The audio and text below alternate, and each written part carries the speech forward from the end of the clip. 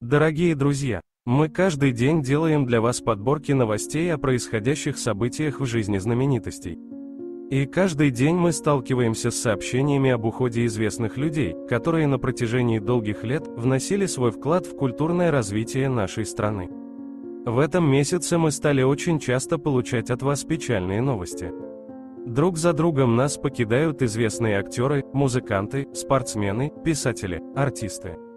Мы благодарны каждому из вас за слова поддержки и соболезнования. Ведь в это непростое время это как никогда важно.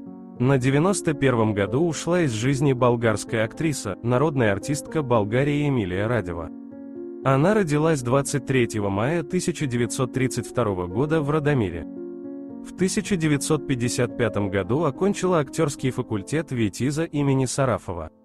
Играла в драматическом театре Пловдива. Актриса театра болгарской армии. Эмилия Радева за многие годы своей работы создала десятки незабываемых образов на театральной сцене. Ее имя известно миллионам зрителей, благодаря работе в кино.